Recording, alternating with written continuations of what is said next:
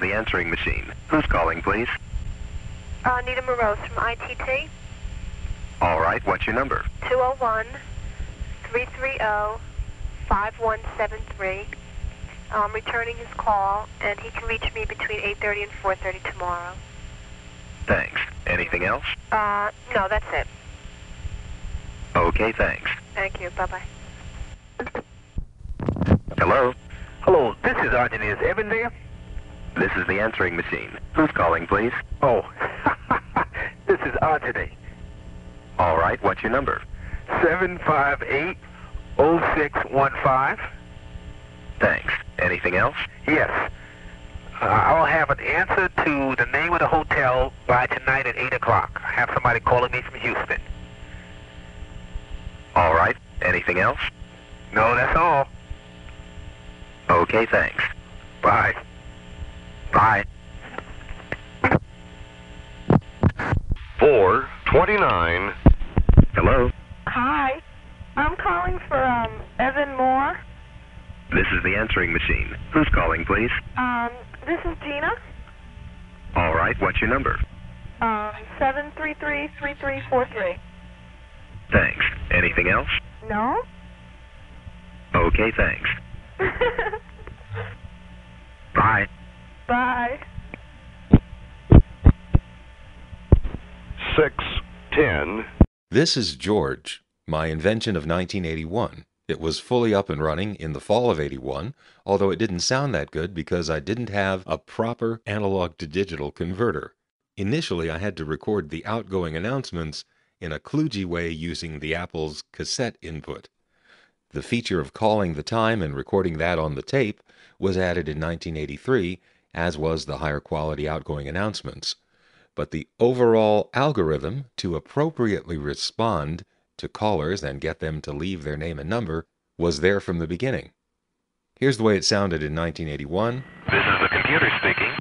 I decided to use the term answering machine instead of computer when I re recorded the phrases. Here's 1983. This is the answering machine. That's how it sounded on the incoming message tape, which did have some extra distortion. Here it is over long distance. This is the answering machine. Who's calling, please? Now some more from 1983. Hello? Evan Moore, please. This is the answering machine. Who's calling, please? Jeff McDonald. All right, what's your number? 458 4927. Thanks. Anything else? No, sir. Okay, thanks. Bye. Bye. Hello? May I speak with Evan Moore, please? This is the answering machine. Who's calling, please? Uh, this is Dr. Finkel's office. All right, what's your number? 449-3744.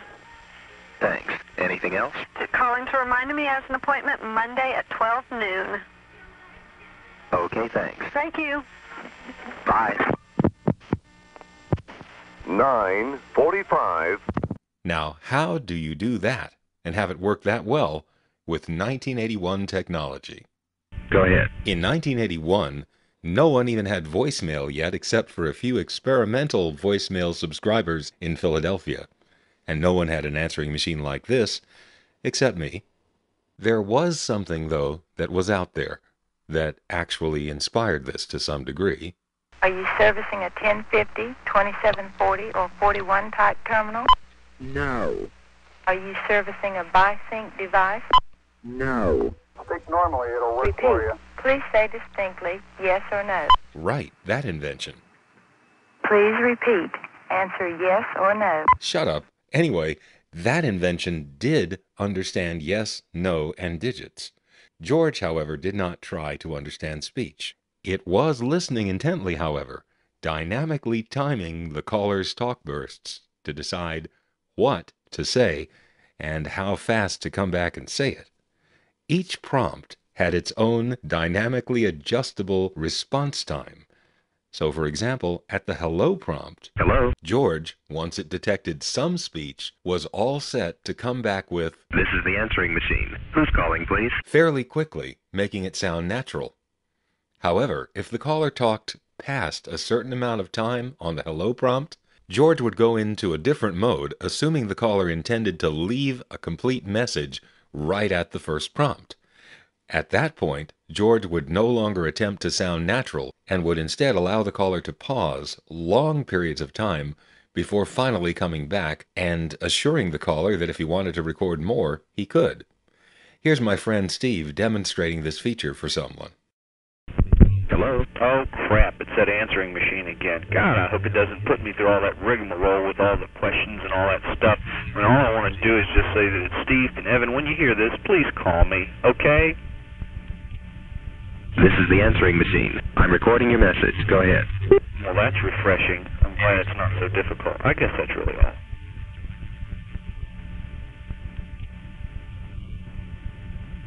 No, let's see. Wait a minute. Actually, there is something else I want to do. Go ahead. Oh, thank you. Um, yeah. Uh, so I want to add on a different number. There, he was demonstrating the remote feature where a four digit code. That password is too weak. Oh, come on, it's 1983. Get off my back. Anyway, there were remote features such as using the three way calling, recording a voice memo, etc., that could be done, all initially accessed with a super secure four digit code.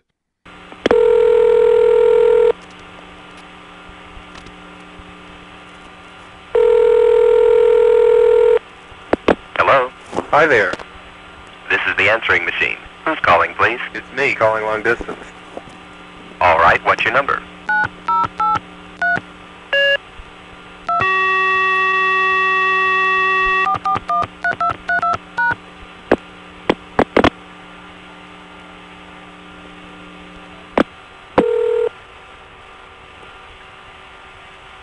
Hello? Hi there. Hi. Uh, I'm out of town at the moment. Well, I play with the phones. Yeah, I do. Oh, all right.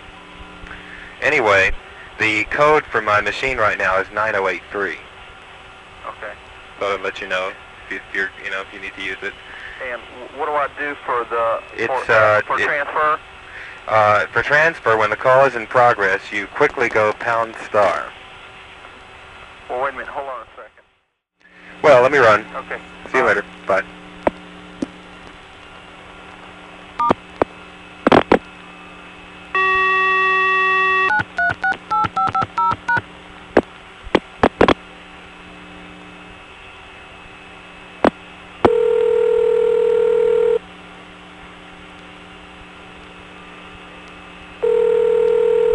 Good afternoon. Bank is happy to add time, weather, temperature to its community services. Bank 9252. The Atlanta area weather, cloudy today. Drizzle and little temperature change tonight. Temperature 61. Well, enough of remote use of my computer. Back to the dynamic response time. As I said, each prompt had its own parameters. One thing that I had to accommodate was that sometimes people would leave a seven digit number like this All right, what's your number? 555 2368. Thanks. Anything else? And at other times, All right, what's your number? 555 2368. Thanks. Anything else? In order to sound natural under either case, and, God forbid, not cut someone off after they've only given three digits, George would accommodate that potential long pause in the delivery of a phone number by starting out with a long response time, and then after the caller had blah blah blahed enough to have gone beyond the first three digits, it would cut back the response time so that no matter how the number was spoken, it would come back with a very reasonable sounding Thanks. Anything else? and no unnatural long pause. In practice with my calls, this feature worked perfectly. But unfortunately, I did not keep my incoming message tapes. However, there was a wrong number caller who did demonstrate this feature, albeit unintentionally. Notice how on the OK, what's your number prompt, a very long time passes between her first talk burst and her second. But George comes back very quickly after the second talk burst. Just imagine that she's leaving a phone number. All right, what's your number? What? Who's this? Thanks. Anything else? Perfect. It waited a real long time after the central office code, What? But when she gave the last four digits, it came back with natural timing. Who's this? Thanks. Anything else? See? Hello? Where the fuck are you? This is the answering machine. Who's calling, please? I know, I didn't make a reservation, so I can't expect to be able to reach you. Bye. 735. The feature of recording the time after each message was added in 1983 using the George technology. After finishing with the caller, George would turn off the tape and call up the Weathercron time number, notice when Fred Covington started talking, and then wait for the appropriate pause in his speech to turn on the tape recorder just to record the hours and the minutes.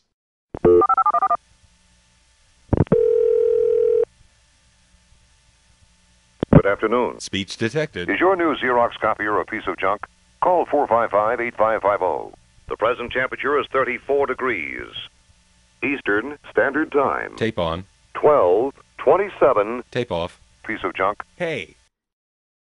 The 1983 version of George also did call waiting. When a call waiting beep was detected, while George was already talking to someone, it would politely wait for a pause in the person's speech and then say, I have another call. Can you hold, please? It would then wait for something that had the rhythm of okay, and then it would say thanks and go get the other call. To the second caller, it would answer hello, allow him to say something, and at an appropriate pause, it would say, This is the answering machine. I'm on another call. Can you hold, please? Again, it would wait for an acknowledgement, say thanks, and go back to the first caller, I think saying, I'm back, and continuing where it left off. Then it would go to the second caller, and if he or she was still there, finish that call. There was no provision for being a demon multitasker a la John Erickson's answering service in New York. That's Shelley, and your telephone number? 247. 247, just a sec. Good afternoon, may I help you? Hi, this is Maria. Uh, Do I have any messages? Let me check for you, 247. But I thought about it, and I have to admit, that answering service was also an inspiration for this invention.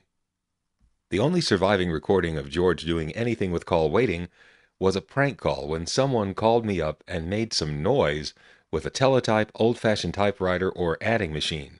In what follows, George detects the call waiting beep, then politely waits for a pause in the clattering before saying, I have another call. Can you hold, please? Had the noise not been so continuous after George asked the person to hold on, it would have worked. But unfortunately, the clattering was so continuous that George took that as a sign to abandon that call. Hello? This is the answering machine. Who's calling, please?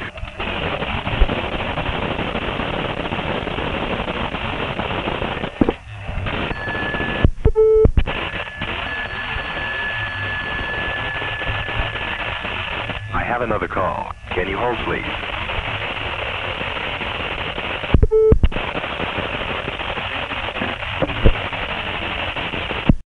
knowing that a living person goes blah blah blah, not blah. Right, that's what that looked like. George abandoned that call and took the other one as a fresh call. Can't play that one for you because the tape is just in too bad shape. That call and others have come from a tape that was literally reused, and fortunately I was able to reclaim what was recorded on it originally. It ain't easy. Here's Steve demonstrating to a friend that the prompts of George can be very persistent. While this is not a realistic use of the machine, it does show what it's like to navigate around the prompt logic. Hello? Hello? Hi. This is the answering machine. Who's calling, please?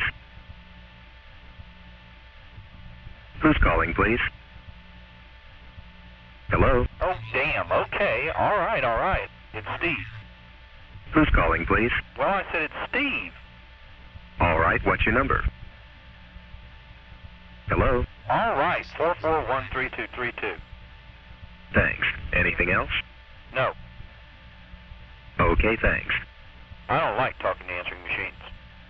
Bye. Uh, no, wait. Don't go yet. Damn. Boy, this thing's insulting. I'm telling you what. I guess I'm going to leave a message. All right, so tell Evan that Steve called, and, and it's now mm, 6:11, and we're getting ready to go out to Sonny's and have some barbecue. So I'll call him back later. Hope that's all right with you. All right. Anything else? No.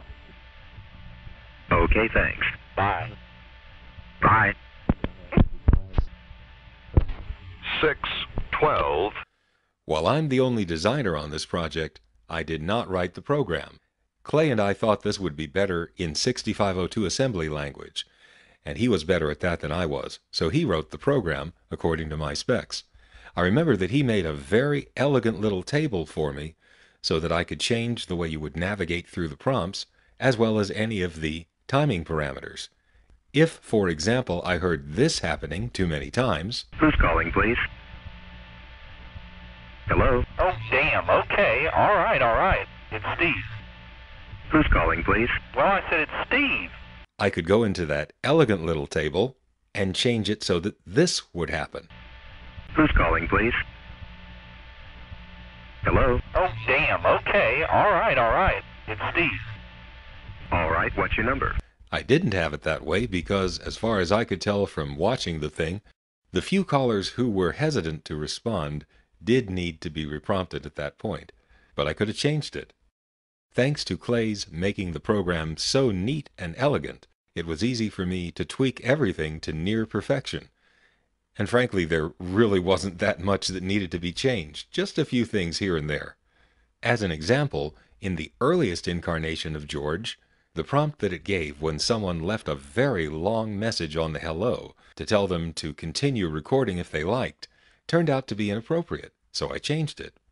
Here, Les takes advantage of the feature and then comments on the inappropriate prompt at the end. Forgive me, but I'm going to have a little fun with Les's incoming message. This particular splice up was done around 1982. Hello? Clay, I've decided what I want to do. Um, I want to make the delete key operate in such a way that if you push it down, it, it goes back one character, and then if you hold it after about a second, it goes delete, delete, delete, delete, delete, delete. You know what I mean? Like a backspace. See, I, I was really concerned with on, on this one, you know, telling people that you have to, you know, hit escape and all, and I think the delete, it just, it'll, it'll make it a lot better, and if that's not any great trouble to do in the software. It doesn't really matter at what rate it, you know, it goes backwards, just as long as after you hold it down about a second, it goes delete, delete, delete, delete, delete, delete. You know what I mean? Like a backspace. Yeah, a typematic key, like a backspace on a uh, uh, electronic, uh, an electric typewriter. Uh, so let's just do that, and that way we won't have to, you know, hit escape and all. And I think the delete, it just it'll it'll make it a lot better. And if that's not any great trouble to do in the software. It doesn't really matter at what rate it, you know, it goes backwards, just as long as after you hold it down about a second, it goes delete, delete, delete, delete, delete, delete. You know what I mean? Like a backspace. Uh, so let's just do that, and that way we won't have to. See, I, I was really concerned with on, on this one, you know, telling people that you have to hit escape and all, and I think the delete, it just it'll it'll make it a lot better. And if that's not any great trouble to do in the software. It doesn't really matter at what rate it, you know, it goes backwards, as long as after you hold it down about a second, it goes zooming backwards to the, you know, to the beginning. You know, delete, delete, delete, delete, delete, delete. You know what I mean? Like a backspace. If you understand what I'm saying, and uh, see, I, I was really concerned with on, on this one, you know, telling people that you have to hit escape and all, and I think the delete, delete, delete, delete, delete, it just it'll it'll make it a lot better. This is the computer speaking. If you want to leave a message, do it now. What the hell do you think I've been doing? I mean, doesn't that sound like a message? Did George work? Yes. Beautifully. However, sometimes, especially with wrong numbers, people would just refuse to believe that they were speaking to a machine. Hello? Uh, hello, this is Tris McFadden. I'm with Telebusiness Supply. I wonder, sir, if you could tell me uh, what kind of typewriter you use in your business, or do you use one? This is the computer speaking. If there's anything else you want to tell me, say it now. Uh-huh. Okay, thank you. Hey, you? Computer? Bye-bye now. You too. Uh, n- nice way to get rid of a salesman, although I'm not interested would work too. Bye-bye. Thank you. Bye-bye now. Hello? Hello, can I speak to Robert? This is the answering machine. Who's calling, please? What? All right, what's your number? What? Who's this? Thanks. Anything else? No, it's somebody saying this is the answering machine. Can I help you? What is your name? I said, what? Well, can I have your number? I said, who is this? Thanks for calling. I'm stupid. Hello? Hello? All right. Anything else? Is he saying, all right, anything else? Okay, thanks. Wait a minute, hello? I'd like to speak to Robert. All right. Anything else? Yeah. Hold on, all right? Okay, thanks. Bye. Wait, no, no bye. Hold on, okay? All right. Anything else? Hello? Hello? Okay, thanks. Hello? Hello?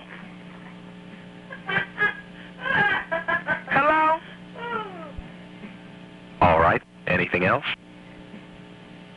That's all you think. Can I speak to Robin? Can I speak to Robin? Okay, thanks. It said, okay, thanks. Bye. That ain't no real 923. Such a great idea, right? You would think that this would have been marketed. Well, we were trying. Specifically, my friend Steve was trying. He knew it was a great idea, and it was amazing the apathetic response that we were getting from anyone who was in a position to do anything about it. Steve would sometimes add on my line and let George record the conversation that he was having. Here's an excerpt of one of those voice memos that I just happened to have. It'll give you an idea of what Steve was trying to do and what he'd been through trying to do it. All right, to give you a quick idea of what we want to do, our idea is to continue to use standard magnetic tape as the message recording medium. Okay. And I think it's fairly obvious. The technology to make it cost effective to use a hard disk for incoming messages when you've got essentially a Vox recording scheme and they could talk forever, it just ain't practical. That's true. And people who think they're going to sell a, make a fortune selling a message call and forward system in a store and forward system using a hard disk on an IBM or I think full of shit as a Christmas turkey is not cost effective to tie up $3,000 worth of hardware for 20 seconds worth of speech. So I, I'm at this point, it looks like it makes sense to me to use microcassette. And one of our big headaches is we've got to find an OEM source of a microcassette or a cassette mechanism with actually a deck, not just a not just a transport, but a deck. Unless we want to manufacture our own analog electronics ourselves, which I just soon not do. I just soon farm as much of this out, you know, as possible. Yeah, especially in that type of uh, mechanism, there's just no way that you can meet the low cost Exactly. of OEMing, uh, and there's enough suppliers of that type of. Uh, But what about with solenoid control? What we want essentially is a dictaphone type mechanism that upon contact closure it either rewinds, fast forwards, records, or plays. No contact closure, of course it's in a stop mode. of course, that bear a little bit of research, but I don't think that you have any difficulty finding a supplier. All right, we got to find it at a low price. Uh, what we eventually want to do with this, Steve, what we want to get it to is an RS-232 uh, interfaced outboard box about the size of, say, Hayes's uh, chronograph that was a flop. But something small, sexy. Since it's going to have to have a clock chip on it, we may as well put a, you know, a display on the front of it that indicates the time and shows you the status that the device is in on the front panel, and uh, you know a few lights that do something to make it sexy, make it sleek looking, have the cassette or microcassette in it, and then just have it RS-232 at 19.2 kilobaud. To uh, and my target market for this is is present PC owners, and the lines I want to go after specifically in this order are. Be- only because I've got to develop first, because I think it's a smaller market than the IBM PC market, and I see our target market as small businesses and very upwardly mobile home PC owners who are, you know, technologically oriented, who probably work in high-tech industry. I don't think this is going to be everybody's got to have one. But I do think all small businesses might buy them, and I think that a lot of people who work out of their home, you know, that kind of thing will definitely want. I think there's an enormous market. I just don't have my hand on on any really, really good demographic research regarding Yeah, our that was target market. be one of my questions. Uh, it sounds like a good idea to, obviously, you, and to, so far, I'm favorably impressed as well. But have you performed any kind of market research so far? No. To, let me handle that question with you right now. At this point, what we're searching obviously for is not only hardware hackers and some software hackers, but funding. I've gone through ATDC, and they came up cold because at this point, Steve, the entrepreneurial element is missing. I do not have a commitment to master what is necessary to be the CEO of this company. I'm just not interested. I'm interested in turning that over to someone else. That's fine. What are they asking for? What they want is either a, uh, a coherent business plan, which there are a thousand questions on the Arthur Young Company suggested outline for a new high technology business plan that I can't answer. That's that's interesting. I wondered about that uh, ATDC outfit, how they were going to go about doing their their thing. They have, they have, uh, uh, it's just a debacle. You'd have to talk with Evan to appreciate it because I'm so on it about them that I'm, when I tell you about it, all you hear is my emotional taint with them. but they have consistently behaved contrary to their stated purpose for being. Yeah. Uh, I, I had an interview with Mark Zwecker and with uh, the head of it, Jerry Birchfield. Jerry couldn't see why anybody would want one. That was his reason for no enthusiasm. Uh-huh. Uh, and uh, upon research, some other people said, well, there all, is already plenty of what you're talking about doing out there on the market. So all the reasons they haven't supported us are complete bullshit reasons. They've missed the point. Yeah. Now, of course, I'm responsible for communicating the opportunity, and obviously I haven't done that very well. But uh, the other thing is we sat down and talked with Hi Chinkus that used to run Crown Camera, Yeah. and uh, Hi, of course, is now retired and was, is with SCORE, the Corps of Retired Executives thing, you know, that Oh, uh-huh. you know, that's consultants. And he basically said, without either the CEO or a coherent business plan, I can't attract venture capital. Now he said we might talk to someone like Ron White or someone like that that you know is is doing some real out-on-limb speculative stuff.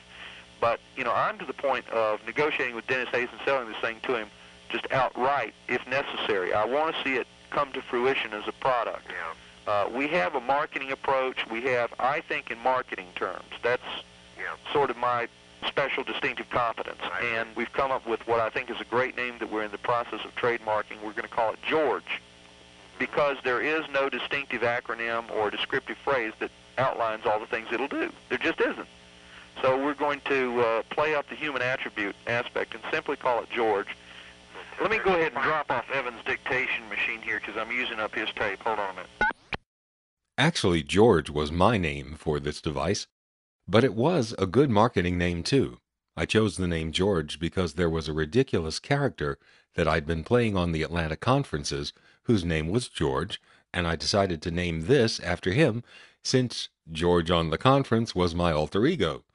The name George turned out to be such a good idea that within three or four years there was a high tech company that came out with some computer related telephone device, and they called it George.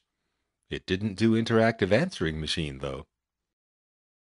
In 1983, there was no end in sight for George. But that changed. Now, in 1984, George actually began to announce with Pat Fleet's voice instead of mine. Now, I didn't keep my incoming message tapes, and so these are the only surviving recordings of Pat Fleet being the voice of George. You'll have to strain your ears to hear under my babbling the sound of George operating with Pat Fleet's voice. 180 dial 0 up to 189 dial 9 message. Go ahead. 190 just hold on 191 So uh, that's the case. 212, to save time in the future, please enter your preference digit immediately after dialing your account code. This is the answering 213, you have changed Who's your call please? preference. 214 will call you back right, and connect you to the party line momentarily 215 excuse me payment for your account Anything is else? now past due Please remember, payment is due before the first of each month. All accounts unpaid as of the 6th. Please accept our thanks if you've already mailed your payment. This one's in two parts, A and B. 11. 216, in order to be connected, Please remember to dial 9. Okay, 222 is not a valid preference code. Bye. You'd think that having Pat Fleet on George would be good news. And in a way it was. But why did we call in Pat Fleet for a session? It was because we had a new business coming. By 1983, George was running using a telephone interface board that could decode touch tones and provide good audio coupling. That board, which could handle only one phone line, was $500. That's $1982 for one phone line. Now, in fall of 1984, when the business went from experimental and free to commercial, that was when that $500 board for the Apple II needed to go into the business.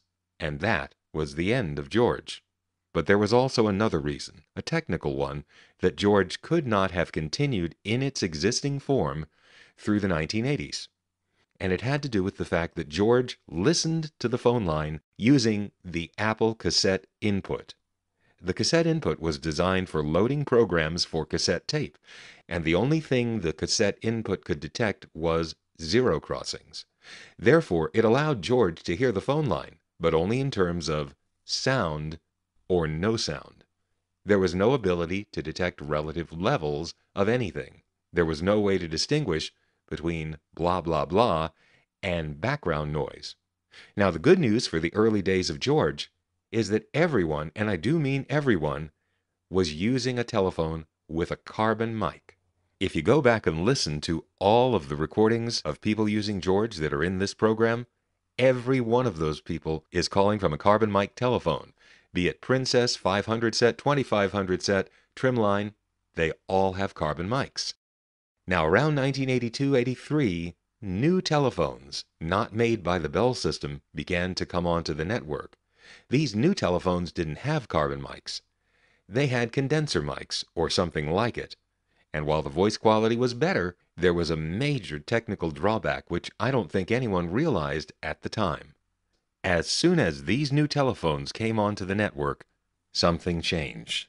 You could no longer talk on the phone while washing the dishes without the person you're talking to knowing that you were washing the dishes. You see, Mr. Gray's invention of the variable resistance transducer, which became the Bell System's carbon mic, had a wonderful side effect. Despite the fact that it gave a distorted sound, it automatically filtered out background noise. If I were talking on a carbon mic right now, you wouldn't have heard that car in the background. Nor would you hear the room echo of the place I'm recording in. That's what I'm talking about. Carbon mics wouldn't let you hear that. Because this isn't a carbon mic, I have to use the computer to do what a carbon mic would do and reduce the room echo and most of the cars going by. The difference between a carbon mic and a condenser mic was huge as far as George was concerned.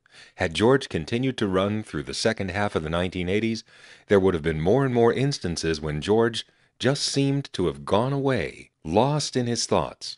Actually, George would be hearing background noise in the caller's environment that the caller hadn't even thought about, and that's why it wouldn't come back and respond. Here's how it is with a carbon mic. All right, what's your number? 555 2368. Thanks. Anything else? Now, with a condenser mic, it's like this All right, what's your number? 555 2368. Hello? Are you still there? Thanks. Anything else? Okay, I'm exaggerating a bit there, but that was the problem. The newer telephones made the background noise so loud that George couldn't tell the difference between it and speech, and so it totally messed up the timing. So a complete technical redesign on the listening part would have to be done to tell the difference between background noise and speech. And Steve and I didn't have time for that. We started a new business that wasn't related to George, but did involve telephone lines. Meanwhile, I got a great new disco job around the time that our business came online, and so George kind of disappeared from our consciousness. We had other things to do. There's one more anecdote that I want to share, and I'm sorry that it's an anecdote. I could kick myself for not saving this recording because it would have become a classic. During the last days of George, when Pat Fleet was the voice of George, I got a call from Pat Fleet. Though I don't have the tape, I do remember exactly how it went. Hello? Hello? Is Evan there? This is the answering machine. Who's calling, please? Well, it's Pat Trumbull. All right, what's your number? 255 2368. Thanks. Anything else? No, but it's really weird talking to myself like this. Okay, thanks. Bye. Bye. Well, you've heard all the recoverable surviving tapes of George that I've got. That's it. There are more of our exploits from the early 80s, including the beginnings of that business, coming up in following episodes. Bye. Bye. Bye bye now. Normally it'll work for you.